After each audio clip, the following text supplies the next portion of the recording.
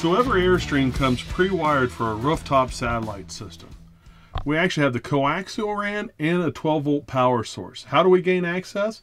In the rear overhead cabinets on the lounge model, all we need to do is lower the ceiling in the rear overhead. Across the face of the cabinet, we want to remove the screws out of the ceiling across the front, and we want to loosen two on either side and pull that metal roof down. Once we pull that metal roof down, on the passenger side, coiled up above the insulation, you're going to find a coaxial cable marked satellite system, and you're also going to find a brown 12 volt wire and a white 12 volt wire that's going to give you the power source to your roof mounted satellite system.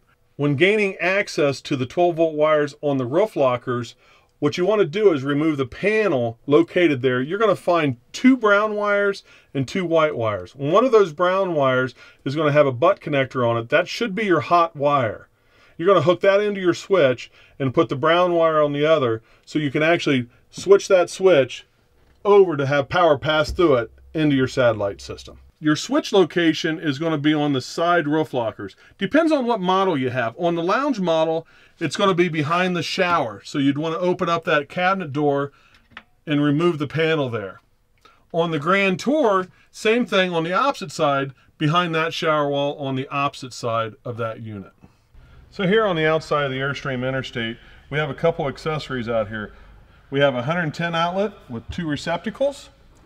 The other one we have here is a cable outlet and an HDMI output. So you can watch anything that you have on your antenna or coming in on your antenna on the outside, or if you're watching a Blu-ray movie, you could watch that out here as well, as long as you have it hooked up to your TV.